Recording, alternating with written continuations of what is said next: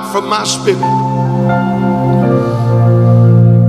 And you must travail for new birth. You must cry out, Give me children, lest we die, Lord. Lord, we not only want to know you, we want somebody else to know you. We want men, women, boys, and girls to know you. Lord, you said in Acts 1 and 8, when you fill us with your power after your Holy Ghost, your person comes on us. You said we'd be both witnesses unto you. And then, Lord, you list four different things. You said Jerusalem and Samaria. That would be the Middle East, that region, in that day, in that time. But you went on and said, to the uttermost parts of the world. You said Judea, Samaria, Jerusalem, and then you said the uttermost parts of the world. Jerusalem and Judea would have been among your own. Samaria, the uttermost parts of the world would have been among the Gentiles, those who worship false deities and gods. So, Lord, I thank you. This gospel's not just for people we know, it's for people we don't know.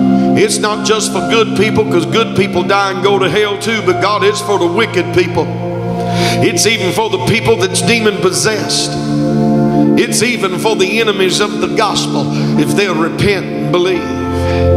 So, Lord, we pray as a reward of your suffering and a reward to the labor that is not in vain, the travail that's not in vain for you, Lord, that we travail and work and labor.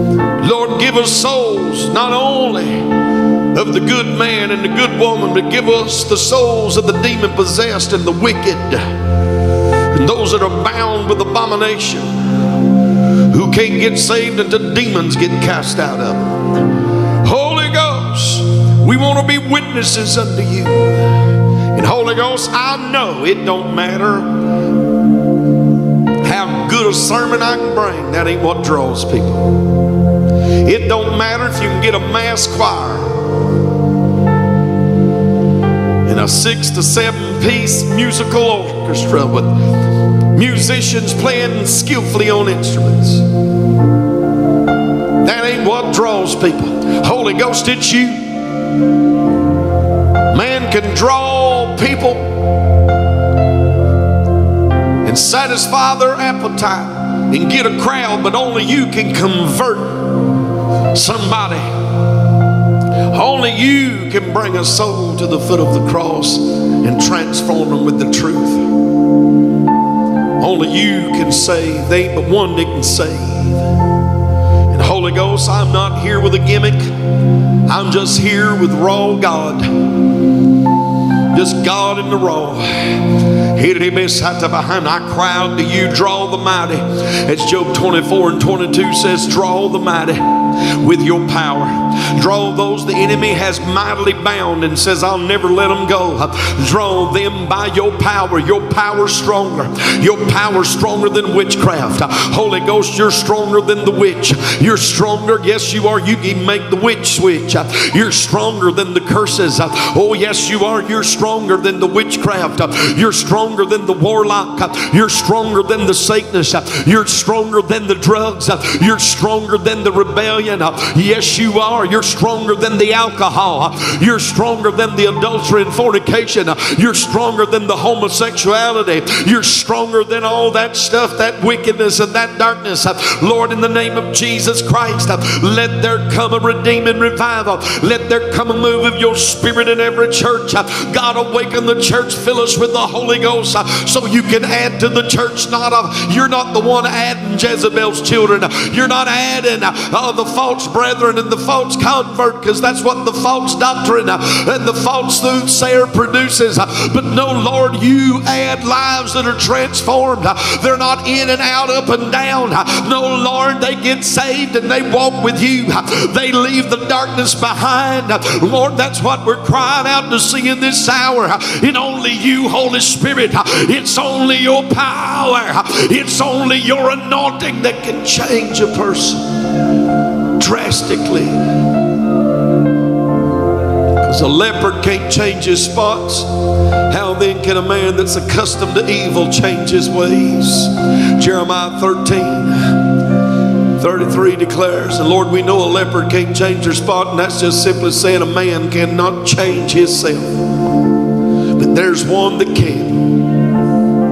What's impossible with men is not impossible with God. Lord, I pray for the saints and with the saints tonight, awaken sons and daughters, adult sons and daughters, waken grandchildren. Waken the seed of the righteous. The seed of the righteous shall be delivered. Proverbs 11 and 21. Lord, I thank you. What a promise is that? You said you'd deliver our seed. Come on, crowd to God. Travail, mama. You birthed them once, birth them again. Birth them in the spirit. Cry to God. Call their name out right now. Call their names out. Call their names out. Call their names out. Call. Don't you dare stop praying for them now. God said, believe on the Lord Jesus Christ. You'll be saved, you and your house. Acts 16 31. Believe. You'll be saved, you and your house. Hallelujah. Lord, I thank you for saving households. You saved Noah's family. Save ours, Lord. Save our families, Lord. Save the children. Save the little ones, Lord, from the Satanism that's become acceptable in the hour we live. The perverted cults. The brainwashing.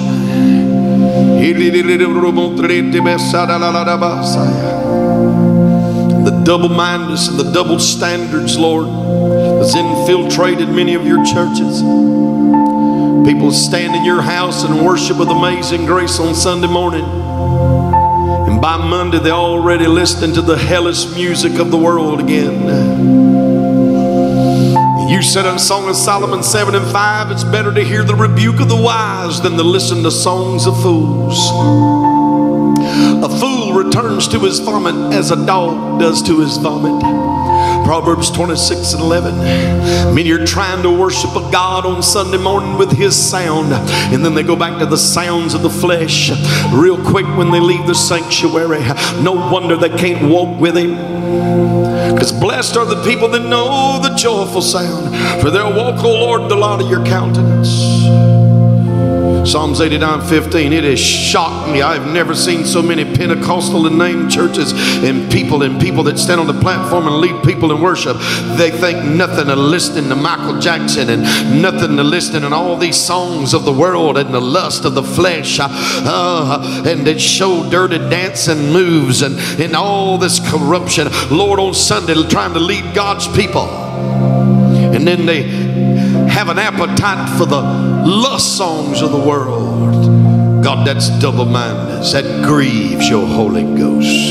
That ain't right, and that sure ain't Pentecost.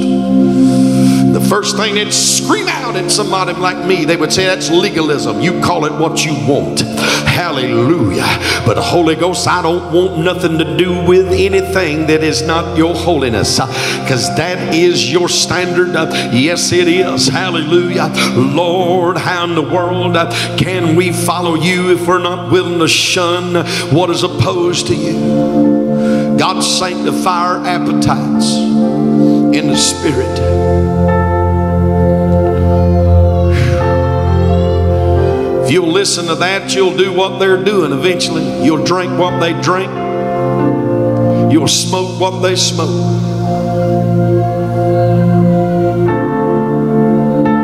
As long as you keep sucking on that electric cigarette, you will not receive the Holy Ghost either. That stuff you're inhaling's more dangerous than smoke itself. Vaping metal.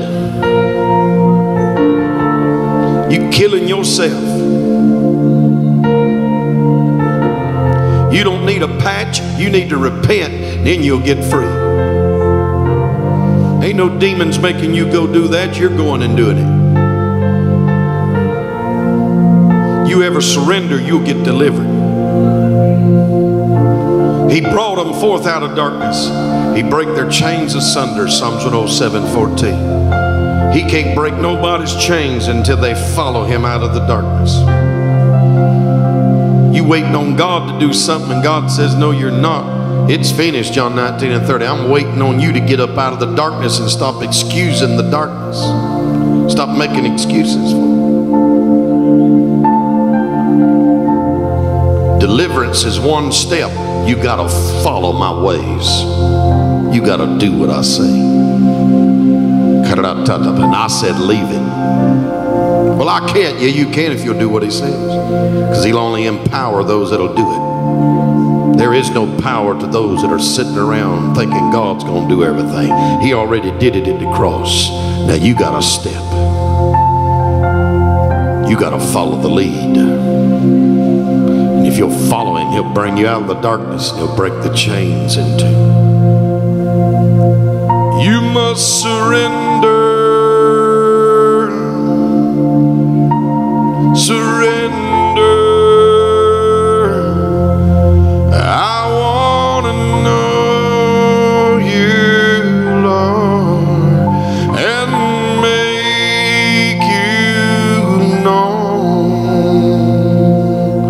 Give us children, Give us children, Lord, lest we die. We cry out to you tonight. Fill us with the Holy Ghost. Why should you fill the house with new birth if the house ain't filled with the Holy Ghost? For as soon as Zion travailed, she brought forth her children. Isaiah 66 8. Tonight, May 18th, next Thursday, May 25th, next month, June 1st, June 8th, June 15th. These are all Thursday nights. It's Thirsting for God Thursday, but it's Thirsting for God Travailing Thursday. Jesus said, Can't you watch me one hour? Somebody say one hour. One hour. Just one hour.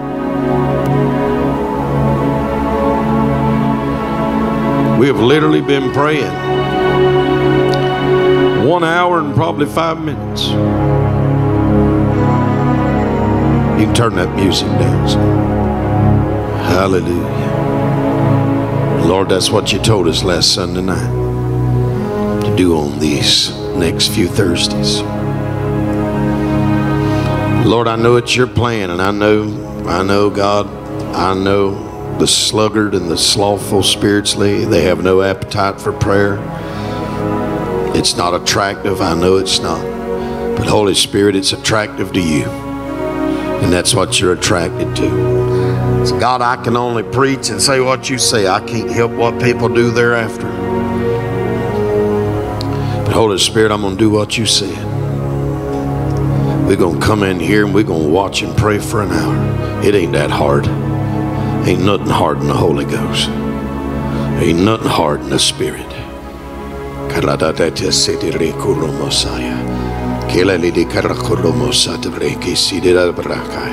Lord, the church should be known for praying more than she does anything. You said to seek and save that which is lost, Luke 15 10. Lord, that don't mean just go look for them. That means you got to pray first. What are we going to do with them when we find them if we ain't been seeking God and got filled with the Holy Spirit?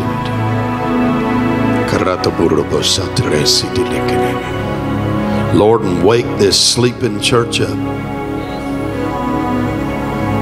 God, there's a lot in this house that are sleeping. Lord, and I know they learned their art of sleep from wherever they went to church in the past. Some of them did. God, wake them up before it's too late. Because you're going to grow your house. Yes, you are. Lord, you're going to birth people, and some's going to lose their places. Some's going to miss you, and Lord, they're going to miss what it is you wanted them to do. Because, Lord, you said in your word in Luke 10 2, harvest is plenty, but the laborers are few. Therefore, pray ye to the Lord of the harvest. Verse 3 that he might send forth laborers into that harvest. Why? To reap it. Lord, who are you saying I'm going to send you into the harvest to reap it? The ones that are praying to the Lord of the harvest. It ain't the ones that's playing around with the Lord of the harvest, but the ones that are praying to the Lord of the harvest. That's the ones you're going to use to reap the harvest. The rest are going to miss you and they're going to miss the harvest. And the harvest is souls. And God, according to Ezekiel, Ezekiel said, those that miss the soul, that miss the harvest, Lord, the blood of those souls will drip from their hands before you one day. Lord, I don't want my hands dripping with blood because I was afraid to say what you said to say. Lord, I don't want my hands dripping with blood of men's souls because I was too busy to take off from what I think I can't take off from, but it's so easy for me to take off from church. And it's so easy for me to take off from the house of prayer. God, you about to replace those people. You ain't going to let me carry this burden like this continually. No, you're not. And Lord, I say it just that bold. You ain't going to allow it. You'll either help me or it'll destroy me one. But I will not stop. I will not quit. God, you know I am tired. You know I am tired. But I am not tired of your work, though I'm tired while doing it. I will not retire. I will not compromise. If I go to the grave, I will not compromise. Lord, I know you ain't going to let me bear it alone. To bear it, you ain't going to let me travail alone. Lord, you told me out in this backyard of this church this afternoon when I was walking and praying. Turn, you said, except the Lord build the house, they labor in vain to build it.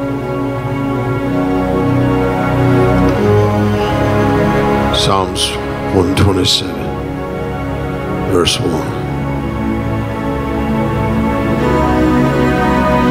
Lord, as I turned around on that wet ground, soggy, and I, from the back of this church, was looking where I had to find a leak. There's a leak back there, and Lord, that's what I was out there looking at. And Lord, when I saw the steeple from the backyard, I heard that scripture, and you said, My anointed this labor has never been in vain because it's not yours, it's mine. You assured me standing in that soggy backyard looking at what leak I'm about to have to repair. You told me your labor's not in vain because it's not your house, it's mine. And I will not always allow you to bear and travail with the weight of what you travail and bear.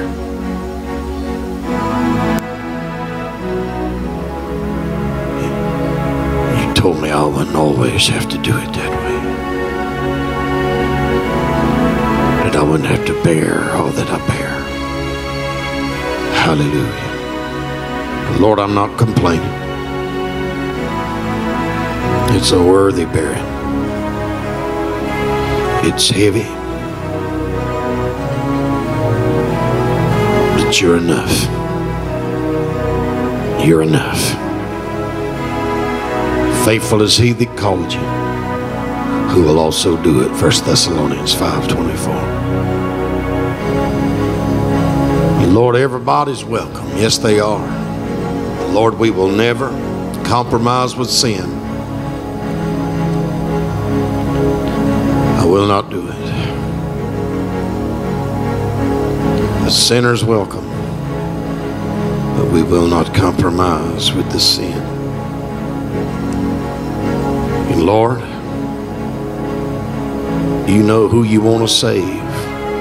I've seen you save people in this altar. I've seen you save people in the yard. I've seen you save people online.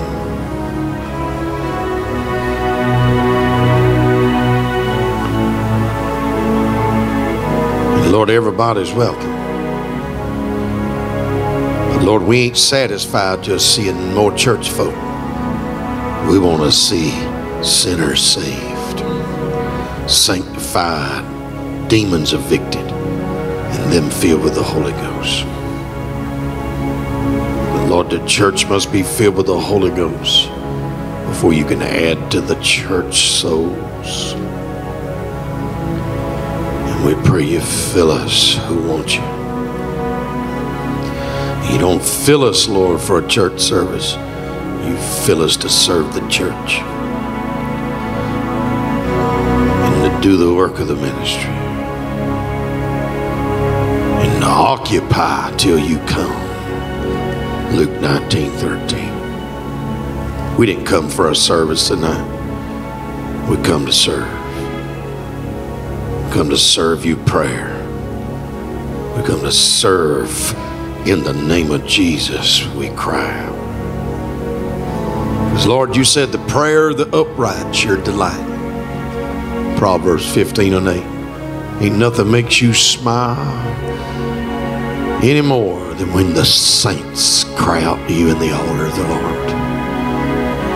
Hallelujah. But Lord, if we turn away our ear from hearing the law, then even our prayer becomes an abomination. Proverbs 29, verse 8.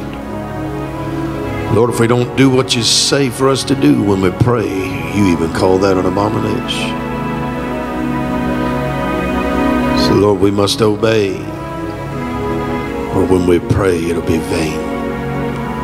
Help us do and follow the instruction to do what you say to do. Because that is the first step to discipleship until people can follow the leader, till they can follow the simple instruction and be faithful. You cannot trust them with anything else, not even a soul. So, Lord, get this house ready to reap the harvest. We must receive the Holy Ghost before we can receive or reap the harvest. Going to reap the harvest, we got to receive the Holy Ghost. With hands lifted, Holy Ghost, we welcome you tonight. We speak your blood. Lord, I thank you. You're God of signs and wonders and miracles. You're our Jehovah Rapha. You said, I'm the Lord that heals you, Exodus 15 and 26. Thank you for healing bodies tonight. Touch the flesh of your saints. Touch them from the crown of their head to the soles of their feet. Make them well for your glory. And Holy Spirit, you take the offering up tonight. You collect the tithes tonight. You pay the church off. You told me in 2019,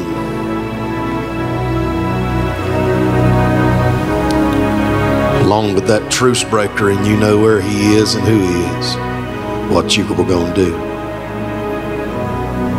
Lord, you didn't lie then, and you don't lie now.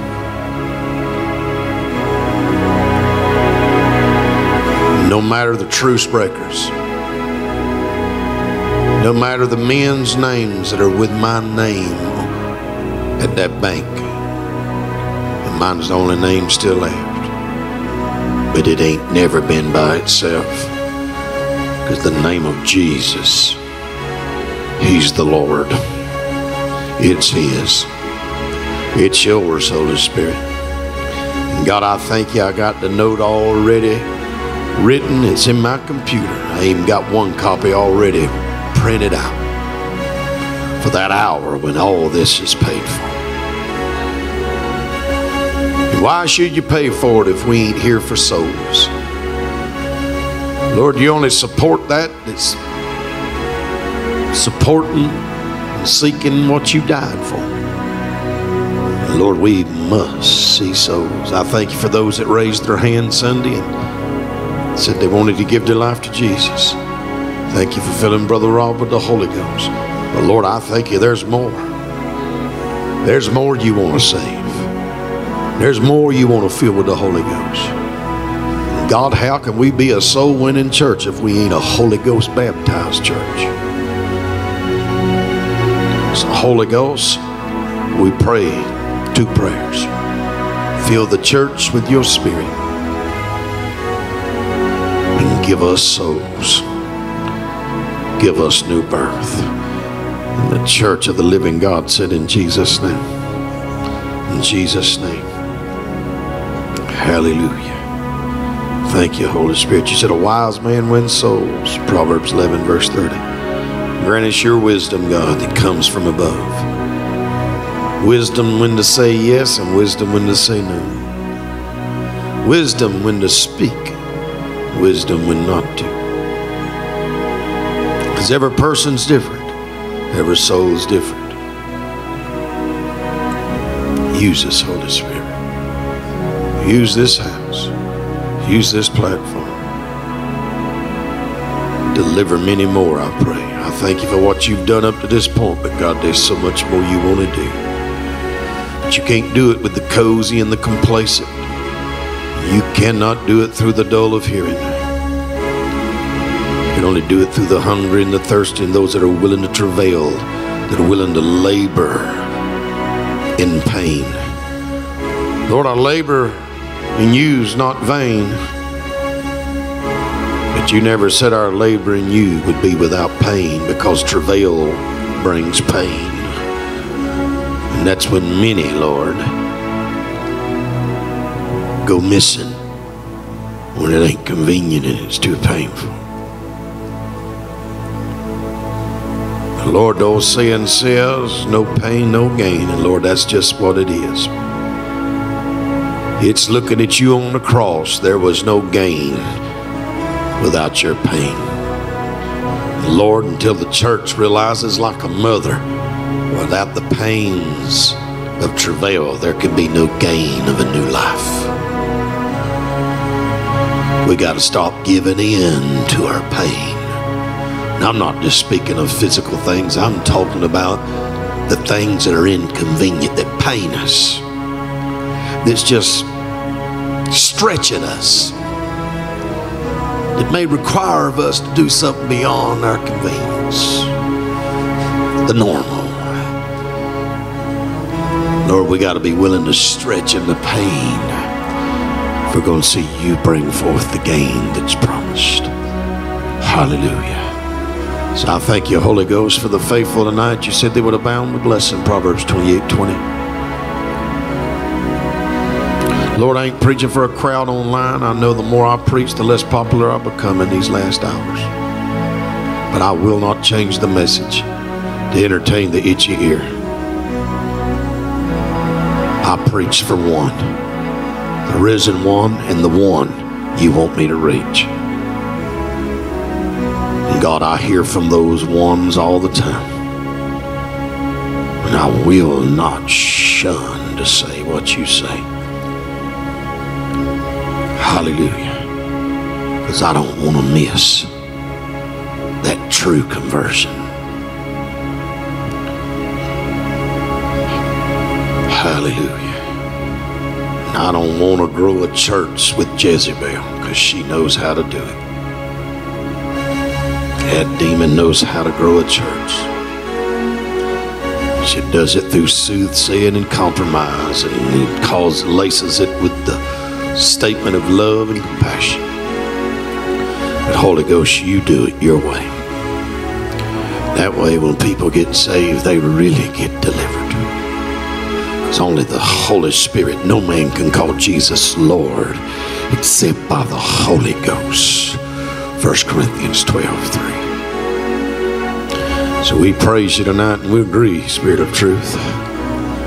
We didn't pray in vain. We didn't come in vain. We didn't preach in vain.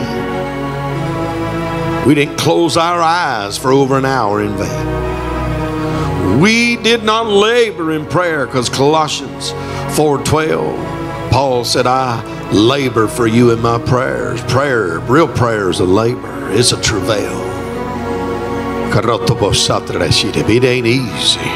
But Lord, I thank you none of it's in vain. Though it comes with pain often, it's not in vain. God, those are the ones you said, I'm going to let you reap the harvest. God, entrust us with the harvest, I pray.